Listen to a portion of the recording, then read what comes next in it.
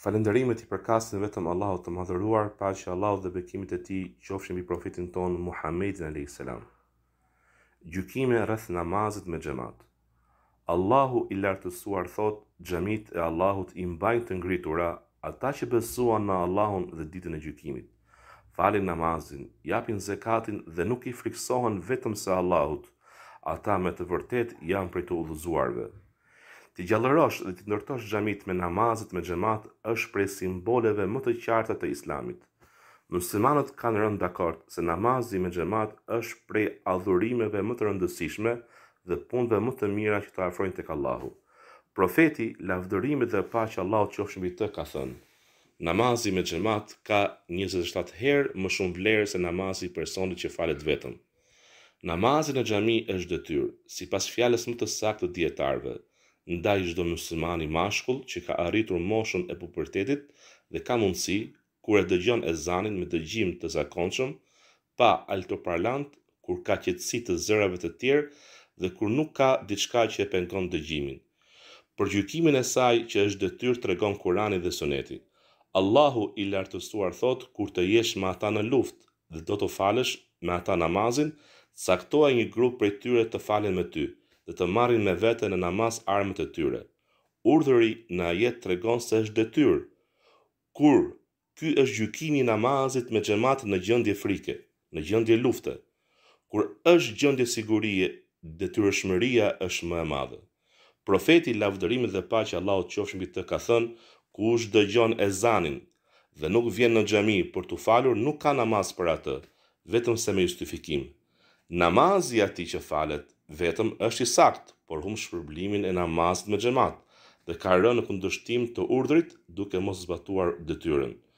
Dy veta është numri më i paktë për t'u formuar xhemati.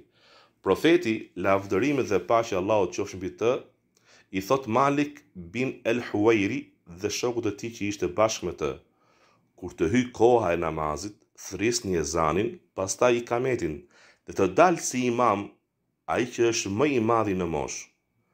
Mjafton për të kapur namazin me xhemat arritja qoftë edhe një edhe një rekati të vetëm.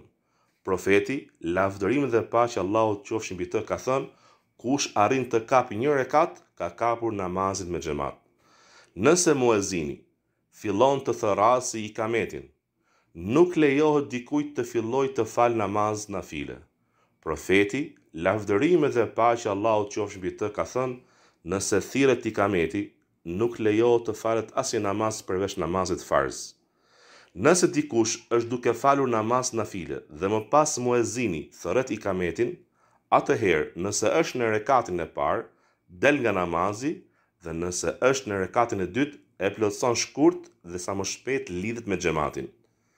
I lejohet myslimanit të mos prezantojë në rastet e mëposhtme. I sëmuri me sëmundje që nëse prezanton me xhematin ndjen vështirësi.